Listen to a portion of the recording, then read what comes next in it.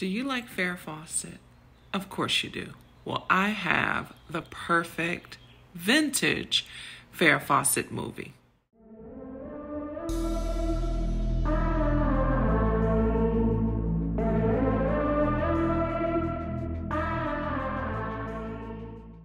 Well, Extremities is a 1986 suspense thriller starring uh, Farrah Fawcett, James Russo, Alfre Woodard, and Diana Scarwid.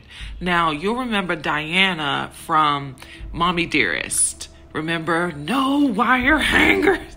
Well, she was she played Christine, um, daughter of Joan Crawford in Mommy Dearest. Now, back then, this film was rated R.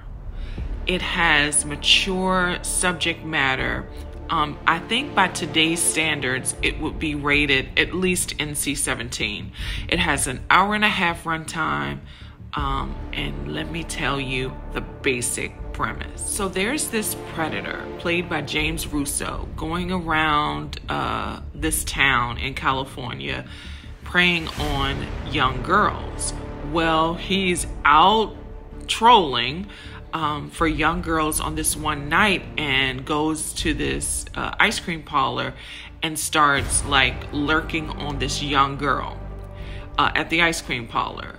But just when she's about to leave, um, Farrah Fawcett pulls up. So he abandons that scheme and then he starts preying on Farrah Fawcett. Now, Farrah Fawcett is just coming back from, uh, she got off work and then she went to play racquetball and then she just wants an ice cream cone.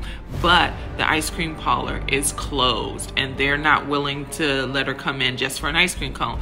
So she leaves. Well, she gets into her car and Creepo James Russo is in the back seat. So he um, puts a knife to her neck and he says, Drive, just drive. And she sees, uh, you know, customers in the parking lot, but he says, If you scream, I'll kill you. So she has to pull off and drive to this dark, remote area under a bridge, real like seedy. Under the bridge, he proceeds to try to attack her, try to uh, assault her and I mean, they're tussling or whatever. She manages to break free. She runs, she books it out of there, and then she runs into the highway and starts flagging down uh, people on the highway, and she uh, gets the attention of this old couple.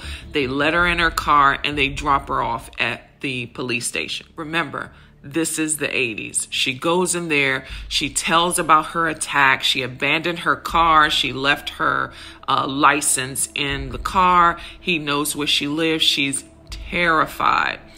She gets a female police officer. She misunderstands the um, uh, report.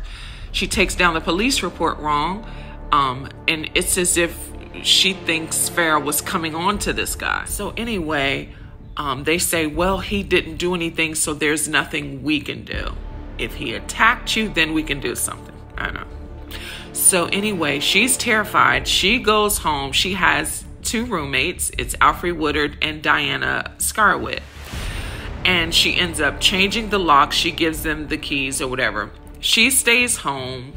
They have to go to work. This is uh, days later. She they have to go to work. She stays home by herself and she tries to, you know, go out in the garden and just keep her mind occupied because she's been having nightmares the whole bit. And then Creepo James comes to the door acting like he's at the wrong place. He's like asking for somebody named Joe or somebody. Um, and she's like, No, you have the wrong address. And she's trying to get rid of him. And she's already creeped out because she's never seen his face. He was masked. So she has no idea. It could be literally anyone in this big city. So he gets to barging in and to finish the job. And I mean, it just gets more suspenseful and there's back and forth. I mean, it's just really, really intense. I highly recommend this film. Now, again, it was the 80s. The choreography and the stunts aren't the best, but you'll get the the sense, the intensity of the scenes because woo, they just get I mean, it just gets the stakes are raised scene after scene. It's such a great movie. She was at the top of her game. Um, again, it's called Extremities. You have to see this film.